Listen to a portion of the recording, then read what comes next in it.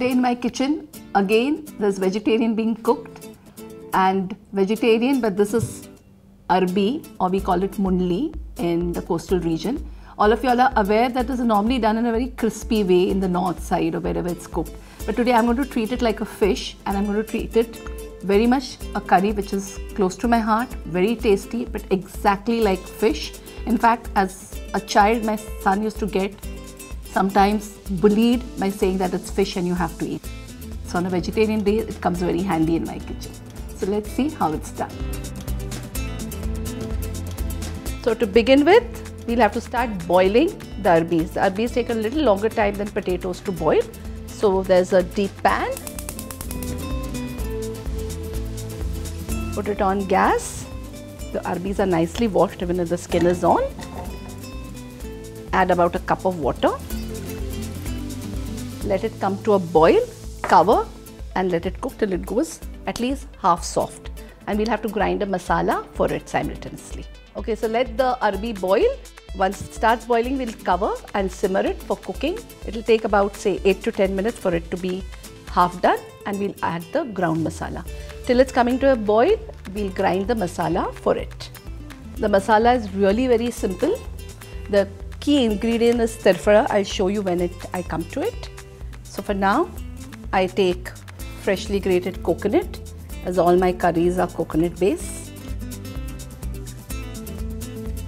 Add little turmeric, about half a teaspoon, not even half actually, just one fourth.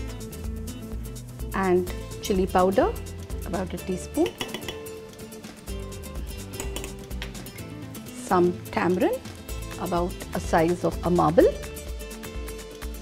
Arbi is simultaneously boiling, so let's cover it and simmer the gas.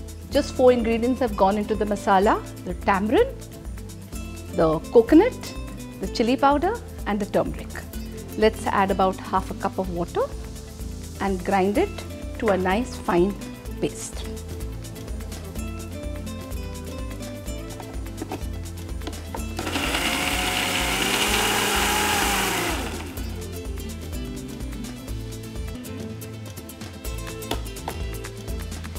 The masala is ground, again a nice bright yellow color.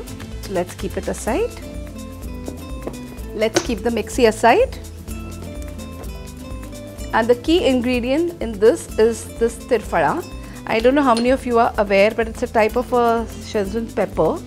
It's green in color when they are fresh and they are dried and kept throughout the year. So normally, as I said, this is a vegetarian preparation. We have to soak them before you put them into the curry. So let's add a tablespoon of water and just soak them. So they impart a little better taste to the curry when they are soaked for about 5 to 6 minutes. So the arbi is cooking. What we do is we'll add salt to it.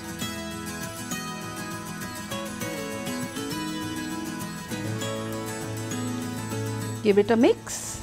Check on them if they are done.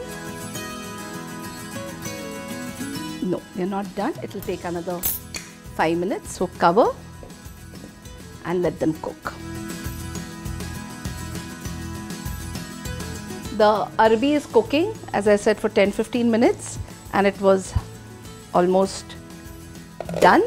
Let's check on it. Yeah, it's done. Now in goes the masala.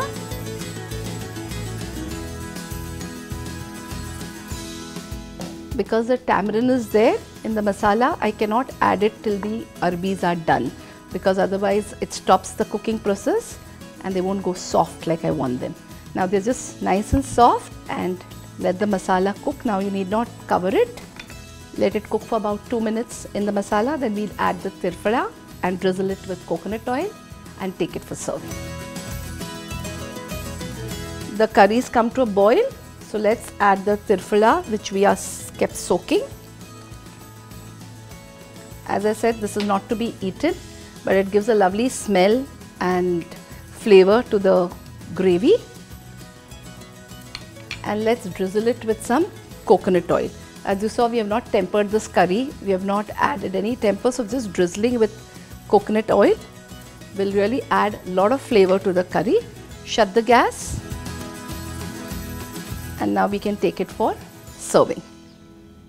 It's nice orange in color so I've taken a very earthen black uh, plate for serving. I think it's going to look just beautiful and going to give a rustic look to it.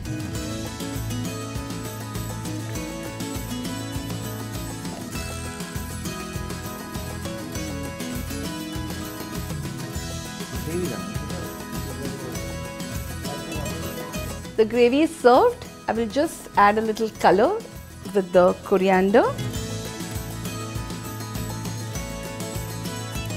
You again serve it with just steamed rice and it was one of my mom-in-law's favorite, very close to my heart, that how the Sunday is to be very pleasing to her and to my family with this combination of fish and the Arabi curry. So definitely make it in your kitchen and if you're vegetarian, definitely try it. I'm saying it's really awesome and you can't imagine that it's made from Arabi. So make it for your family and get back to me. Hit the like button, subscribe and share this recipe with friends if you like.